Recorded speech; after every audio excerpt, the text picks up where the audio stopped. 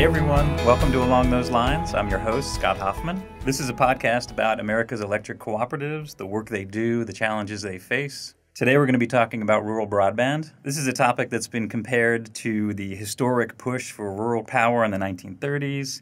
Billions of federal dollars have been allocated to help kickstart the broadband effort. There's even some folks who say that access to, to high speed internet could determine whether communities, certain communities, survive into the future.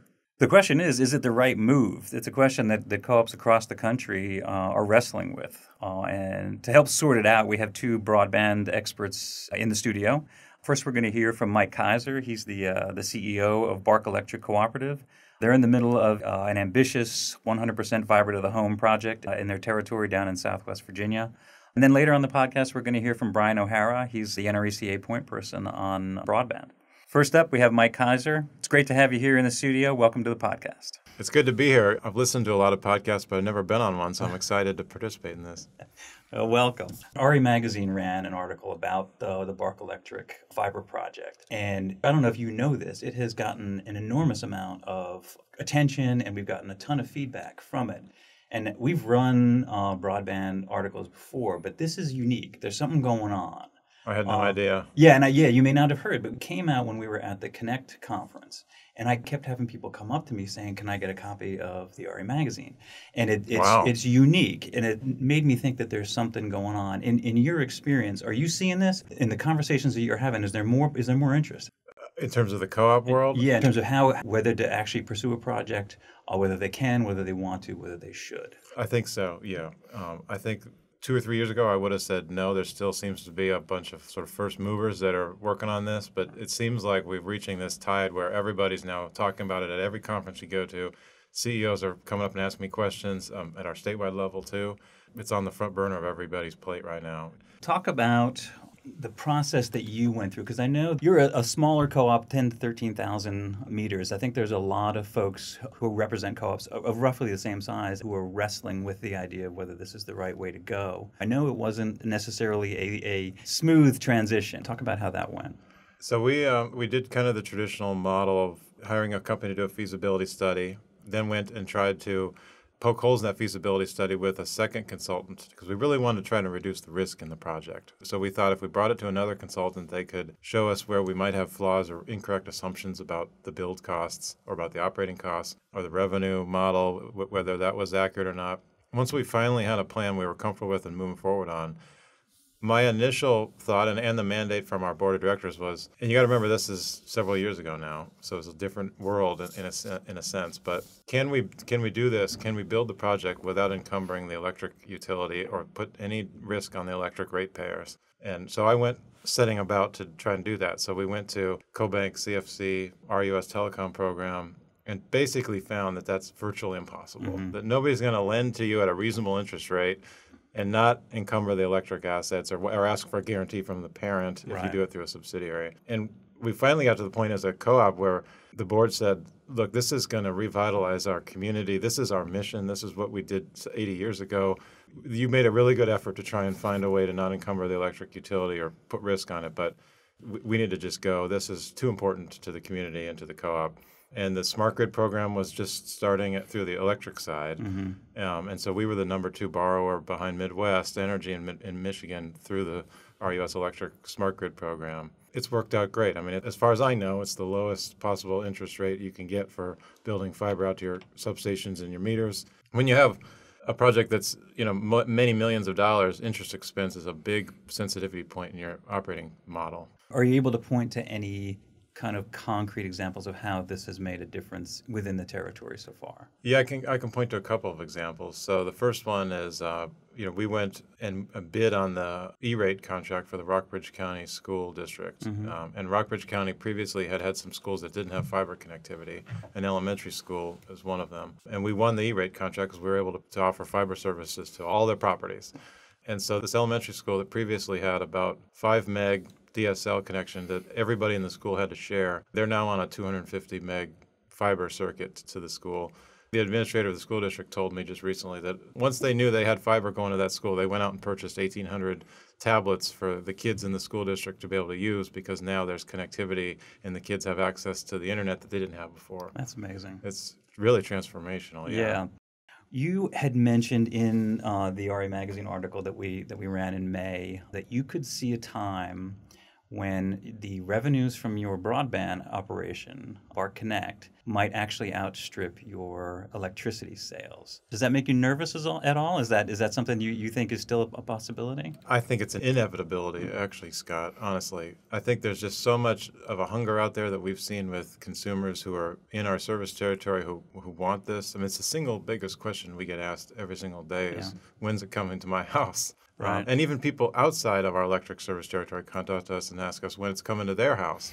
And we have to tell them sometimes, well, you're not a BARC member, and we don't have plans to go to your neighborhood right now. You know, and they get mad at us. Yeah. It's like, move into our service territory then. But I do see that coming. If it keeps growing at the pace it's going to grow and the demand is still out there for it, it'll happen. And I've always felt like that's not a bad problem to have. Yeah. You know, you, there's worse problems to have than you're violating the 8515 test, and you have to decide whether you're going to become taxable or not. Right. The decision making in terms of going outside your territory. You've already d- done some connectivity outside your normal electric service territories. We correct? did because yeah. we're six and a half, roughly six and a half customers per line mile. Right. And so in order to boost that average density up, we've been blending some non-BARC areas with BARC areas. Okay. We'll continue to do that to try and boost the I don't want to say profitability, but in a sense it kind of is because we're going to take those margins that we get off those initial highly dense areas and we're going to put them back into the project so that we can get out to the areas later on, phases two and three, where it's only three customers per line mile Actually, let's talk about your territory a little bit because I think some of our co ops probably have sort of the same issues where not only the density, but just the terrain kind of drives away other potential providers of this. Talk a little bit about BARC's territory and how you guys uh, kind of navigated that uh, to get to the decision to go with BARC Connect if we can do this, if we prove this to be successful, anybody in the country should be able to do this. Yeah. I mean, literally. Okay, we we've got probably the most rugged service territory in the whole country. You know, if you look at look at us on a map, a small portion of our territory, maybe about a third of it, is in the Shenandoah Valley. Okay, so that's decent, but the county is called Rockbridge County, which right. means there's tons of rock everywhere. Okay, we also serve up to the Blue Ridge Mountains. So we're, we're up in the mountains to the east. Mm-hmm. And then to the west, about two thirds of our territory is George Washington National Forest. Right. So it is a lot of trees. Our single biggest expense is right away trimming, very high cost service territory.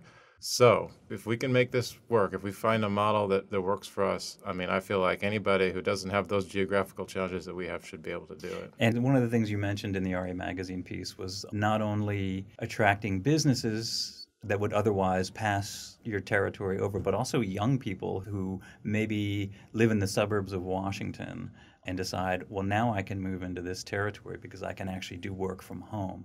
Is it working? I don't. I think it's a little too early to tell on that. I've heard anecdotal things from like the realtors that they're using our, our sign up tools to be able to, to market their properties that are for sale, saying they're now fiber ready, mm-hmm. um, and that and they're using that. But I think it's too early to tell if people are going to be moving back into our area. I have gotten inquiries from customers or prospective people that'll say, we're looking to buy a house. We really need a definitive to know whether this is going to be inside or outside the fiber project area because right. we won't buy it if it's not in the fiber project area. Right. So it's going to take time. Yeah.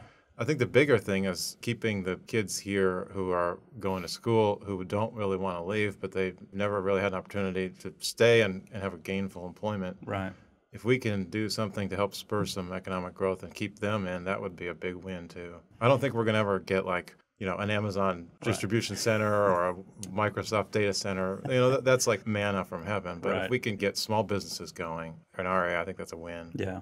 That kind of segues nicely into this broader picture of what what this means to not only your service territory, but what are we talking about as a broad economic and quality of life impact that this has on rural communities across the country. My friend Bob Hance at Midwest once said to me that it is as close as we're going to get to what it felt like to turn people's lights on for the first time. Yeah. And I've told that to our employees too before in our meetings. I've said, you know, I know that you're being asked to take on additional responsibilities that you didn't have to do, but think about how unique of a situation that you're in. In the history of BARC, an entire generations of people came through this co-op who just basically maintained the status quo, right? You guys are experiencing things that the people who founded BARC are experiencing in a different way, Yeah. but it's the same sorts of things. Like what we're doing is changing customers' lives for the better. Um, people who've never had high-speed internet before or have had something, you know, satellite or bad DSL are now getting like access to being connected. And I'm thinking about how unique that is. In your career that at BARC, you're going to have that experience that very few people have had. We actually had a customer recently. It's going to be in our next Co-op Living magazine. We're going to publish her piece because it was so nice, thanking us for connecting her to the internet. And she said,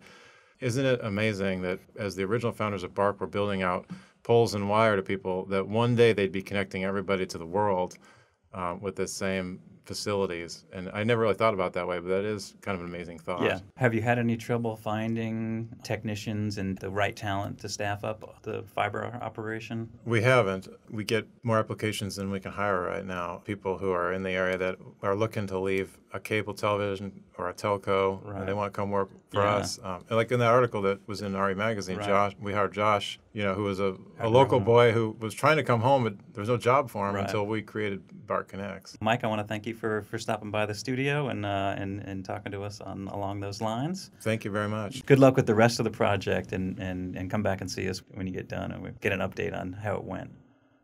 So next up, we have Brian O'Hara in the studio. He's the Regulatory Issues Director at NRECA. Part of his job is to make sure that co-ops have a level playing field when the federal government creates these programs that impact rural broadband. Brian, thanks so much for being here today. Thank you. It's good to be here.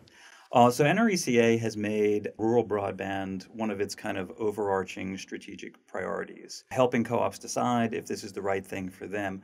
Talk about why this is such an important issue at this particular time. It's a great question, and broadband is increasingly important to uh, our membership here at NRECA. There's a couple reasons for it. First and foremost, it is becoming increasingly difficult for electric utilities to manage their electric grid without a robust communications backbone. So there is a need for a broadband backbone just to support their own electric operations and improve efficiency there. Second is they serve obviously rural communities that are underserved and unserved with broadband. Uh, and that has harmed the economic development and growth of their communities. And as we all know, one of the goals or missions of an electric co op is economic development of their community. So uh, there's a couple fold questions there. And our colleagues down in BTS recently did a report on what the economic value of having that backbone just to the electric grid operations is. And they estimated that having a broadband backbone, a co-op can save between 1.7 and 2. Point, I think it was 4 million dollars a year in uh, reduced costs just from operational savings having that backbone. Electric co ops are particularly well placed to provide this rural broadband. Talk about why it is that electric co ops in particular uh, have an advantage here, or, or and I, wouldn't, I, wouldn't, I don't want to say obligation, but is it, is it a strategic advantage in these particular environments? Yeah, it is a strategic advantage, and that's a good way to put it. Number one, they're already serving these rural communities and rural areas with a infrastructure heavy um, electric grid. So it's not that different to run electric wires out there as it is to run telephone wires. So they're very similar in that regard as far as the building out of the infrastructure. And obviously, that's something they're very familiar with. Also, they own the poles, they own a lot of the infrastructure. So adding additional cables to existing infrastructures makes it a lot easier than if you were starting from scratch, if you were a competitor coming from the outside. So that's what really helps give them kind of a leg up in uh, in this environment and building out to these rural communities. Yeah. Your job is is primarily to lobby the federal agencies for to make sure that the playing field is level for co-ops who do want to get in into broadband. I know there's a lot going on in this in this space right now. Talk about some of the bigger challenges that you're facing uh, with the agencies and, and on the Hill as well. Yes, there are a, a number of challenges. Deploying broadband in rural areas is very expensive. If it was easy, it would have been done a long time ago. So, a lot of problems. So, one of the biggest challenges we face is getting recognized uh, by some of these federal agencies as a player in the field. Obviously, the Federal Communications Commission historically has only dealt with the telephone companies, right? So, we're a new player coming in there. Uh, I think it took them a while to kind of see us as legitimate and people that can help solve this problem. Uh, we're getting pretty far down the line. They are starting to see us that way. Uh, most recently, there was a Connect America Fund Phase 2 auction, reverse auction, to get broadband out to uh, underserved communities out there. And we were we had 31 electric co-ops win uh, 225 million over 10 years in that auction. And so I think there was 103 total winners. So you know we are about a third of that. Uh, that's not a, a, small feat, and there will be some other auctions coming up down the way. And I think that now that they see us as a player, I think we'll be uh, able to work with uh, the FCC even more to try to get rules that are more advantageous to our equal participation. And then there's the uh, Rural Utility Service, where our members have historically done a lot of work and worked with them, mainly on the electric side. But they also have the electric loans and grants. And there's a new program about to come online that we've been working very closely with them to try and make sure those rules are a level playing field once again for our members as much as it is for any of the other incumbent players on the telecom side. That's great. You mentioned the FCC. Uh, one of the things that we've been hearing about in NRECA News and, and RE Magazine is this uh, FCC definition of what broadband is. Their definition says 25 megabytes per second uh, download, three upload. But most of the co ops we're talking to are doing full gigabit fiber to the home. How is the FCC definition of broadband? How does that impact co-ops? Is that is that a hindrance? Is that a good thing? What are you seeing in your in your talks? Yeah, no, you were 100% right that when the majority of our members are deploying, it's at a much higher speed than the minimum definition of the FCC of 25.3. And the main reason is because a lot of our members are deploying fiber all the way to the home, which is you know the gold standard right now for broadband. We do have some members that are doing a, a hybrid of uh, fiber and fixed wireless, which is a little cheaper to deploy but a lower speed. So to get to the the definition of what it means for 25.3. 25.3 is what the FCC defines as broadband. That's the minimum speed. Let's put it that way. So you can do most of the things you need to do if you have 25.3, but that's about it. And so that's today's standard. One of the problems we have is that the FCC hasn't revisited this in a while, and we're starting to see more applications, you know, heavy video use and downloading, and um, more bandwidth heavy applications. 25.3 is not going to cut it in very near future. Uh, so most of our members have been looking beyond that, and we have encouraged the FCC to also revisit that 25.3 definition.